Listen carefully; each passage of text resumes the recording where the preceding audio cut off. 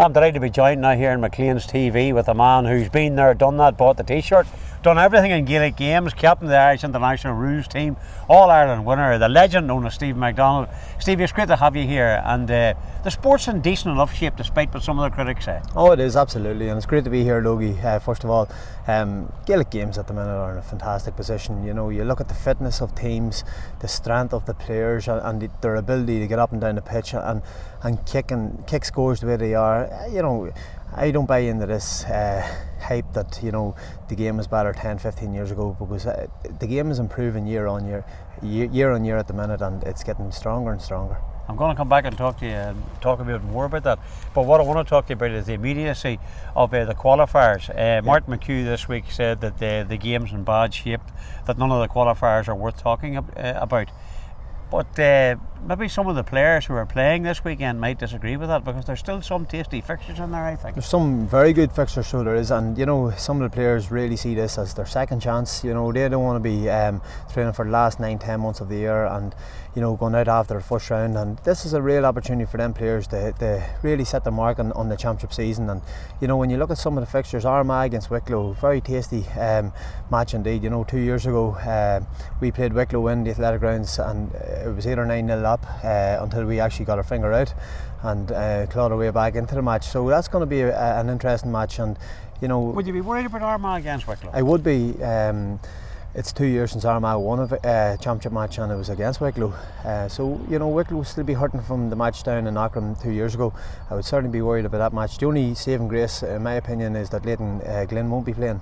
Well, now you talk about that game. There's another game as well too. Fermanagh, Fermanagh were gutted in the championship defeat to Cavan and I think they picked the, the hardest the hardest tie of all away to Westmeath. Away to Westmeath, a team that you know had a very good league campaign, went to the final, um, and unfortunately, you know for, for them they got defeated by a very good Derry team on the day.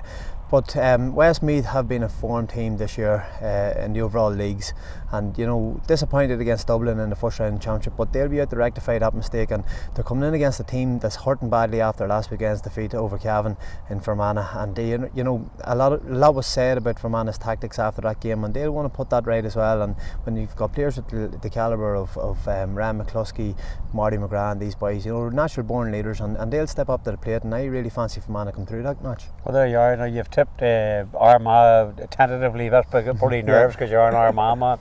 You've gone for Fermanagh.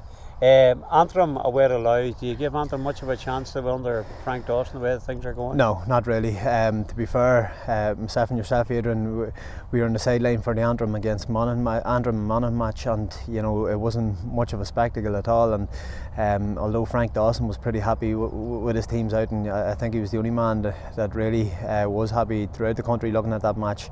Um, Antrim, they have been disappointing um, throughout the year, and they're missing a lot of key players. The McCann brothers are huge loss to that team. And you know, Louth um, have had a decent enough uh, league campaign.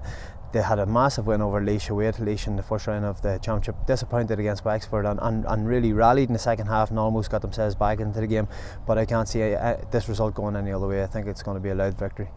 Uh, the, the first name out of the hat in the qualifier draw was Tyrone, but yeah. they, they had to give up home advantage because Offaly had played away from home last year. Yeah. Offaly against Tyrone and Tullamore some people think this is a potential banana skin. Do you see it as a banana skin for Tyrone?